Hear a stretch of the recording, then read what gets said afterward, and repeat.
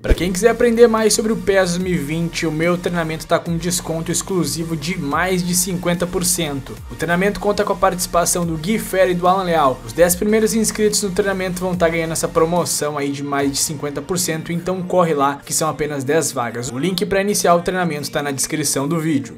Salve, salve crack, sejam bem-vindos a mais um vídeo. Aqui quem fala é o Rodrigão e hoje, galera, eu trago para vocês aqui algumas informações bem da hora aí sobre a DLC 4.0 que já tá batendo na porta aí do PES 2020. Para quem não sabe, a DLC vai chegar no próximo dia 13, ou seja, aí na quinta-feira, logo às 6 horas da manhã, praticamente que é quando termina a atualização semanal. Beleza, cracks? Rapaziada, não esqueçam de fortalecer no like esse vídeo aqui, tá trazendo muitas informações aí para vocês. Algumas delas em primeira mão acabaram de ser confirmadas aí. E a notícia que dá nome ao vídeo também, bem bacana, eu vou estar trazendo para vocês aqui no vídeo. Beleza? Então fortalece no like e bora lá, rapaziada. Dando início então às informações da DLC 4.0. A primeira notícia aqui do vídeo é a notícia que dá nome ao vídeo, é que agora a gente vai ter aí é, uma alteração na classificação dos jogadores Legends, dos jogadores lendas aí do PES 2020. Eu já pedi isso várias vezes aqui no canal, já comentei sobre isso aí também com os inscritos. A classificação semanal dos jogadores Legends no MyClub, elas vinham com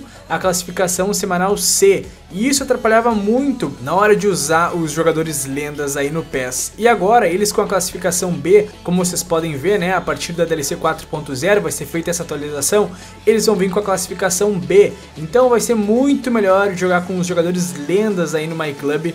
É, isso é uma coisa que a classificação C deles, permanente, atrapalhava muito no rendimento dos jogadores, nas setas deles, né?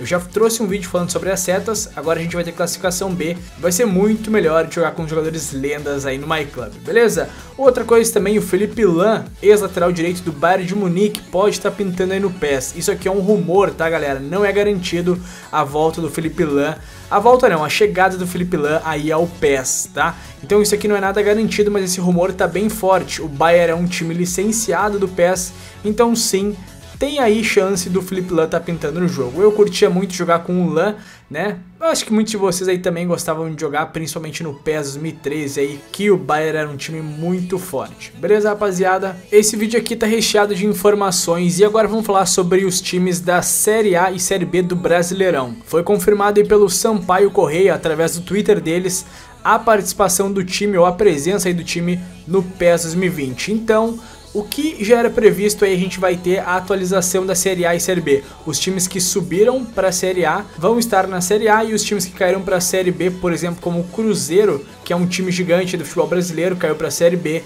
vai estar na Série B. Os times que caíram da Série B para a Série C, infelizmente, não vão estar mais no jogo. Provavelmente, a não ser que eles estejam aí nos times livres, mas é, no resto do mundo, desculpa, mas acho pouco provável.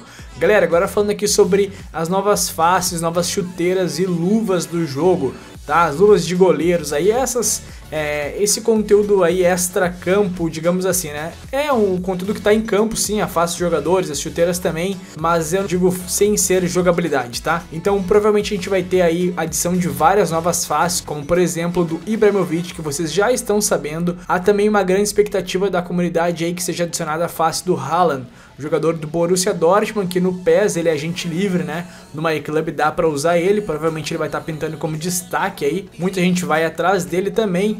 E é possível jogar com ele aí na Master Liga, porque tem como buscar ele nos jogadores agentes livres. Beleza? Rapaziada, as faces a gente não tem nenhuma confirmação de qual face vai vir a não ser a do Ibra, que já foi confirmada aí, tá? Então vamos aguardar, sempre vem várias faces novas aí nas DLCs, e acredito que nessa daqui não vai ser diferente, espero que eles não decepcionem no Campeonato Brasileiro, porque a janela de transferências movimentou muitas transferências aí no mercado brasileiro, como por exemplo, Diego Souza que foi pro Grêmio, Thiago Neves que foi pro Grêmio, uh, Luan foi pro Corinthians, a gente tem vários jogadores aí no Inter, uh, a chegada aí do Musto, volante, e em vários outros times aí, por exemplo, no Flamengo a gente tem o Pedro, que foi recentemente contratado, o Michael, que era do Goiás. Então, caras, a gente tem muita movimentação no mercado brasileiro aí. O Honda pelo Botafogo e etc, tá? Então, galera, vamos esperar aí o que, que vai estar tá pintando nessa nova DLC aí na semana que vem. Uma coisa bem bacana também que gera uma expectativa grande aí na galera é o upgrade dos jogadores, a mudança de overall que vão ter dos jogadores que vão estar tá acontecendo aí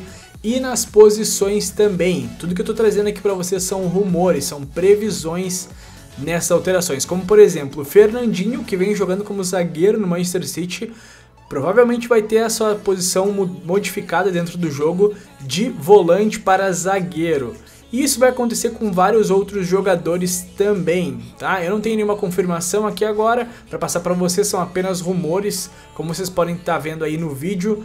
Outra coisa também é o upgrade dos overalls. Vários jogadores que são bola prata vão virar bola ouro é, e vão ter a mudança de overall nos modos online e na Master aí para quem atualizar também, galera. Então, por exemplo, o time do Liverpool, que os jogadores estão muito bem na temporada, vai haver alguma modificação de overall aí. E o Haaland, por exemplo, que é um jogador sensação aí do momento, vai ter um upgrade no overall dele também. Então fiquem atentos a isso daí. O Haaland vai aumentar o over. Nada mais justo, né? O cara vem jogando muita bola. E vão ter outros jogadores com o overall mais alto também. Mas vamos aguardar para saber realmente, galera, o que, que vai mudar. Eu não vou trazer nenhuma confirmação para vocês aqui porque ainda são apenas rumores. Todos os vídeos que estão circulando na internet aí são rumores da atualização. Beleza, cracks? Espero que esse vídeo aqui tenha sido bem informativo para vocês. Lembrando que a gente não vai ter a adição de nenhum novo estádio na DLC 4.0, mas eu acho que na próxima DLC, aí na 5.0, que vai estar tá chegando a DLC da Eurocopa aí no PES, com certeza a gente vai ter novos estádios, mais fáceis ainda sendo adicionadas ao jogo, beleza? Comentem aqui embaixo qual a expectativa de vocês para DLC. Não sabemos nada de atualização na gameplay, mas acredito que nada vá ser modificado. Uh, digo pelo menos nenhuma mudança significativa, a gente pode ter apenas mudanças sutis aí na gameplay do jogo. Beleza, cracks? Muito obrigado de coração para quem assistiu até o final, deixou aquele like que fortalece mais o nosso canal, você sabe muito bem disso. Não esqueça também de participar do sorteio que tá rolando lá no meu Instagram de um gift card no valor de 200 reais e uma camisa do PES 2020. O link para vocês participarem desse sorteio tá aqui na descrição do vídeo, é só chegar lá, me seguir no Instagram, curtir a publicação e marcar três amigos que vocês já vão estar tá participando dessa promo para ganhar esse gift card de 200 reais e a camisa do PES 2020 não esqueçam de compartilhar esse vídeo com os amigos de vocês se vocês gostaram dele. Beleza, cracks? Eu vou ficando por aqui, até o próximo vídeo. Um grande abraço para vocês e valeu!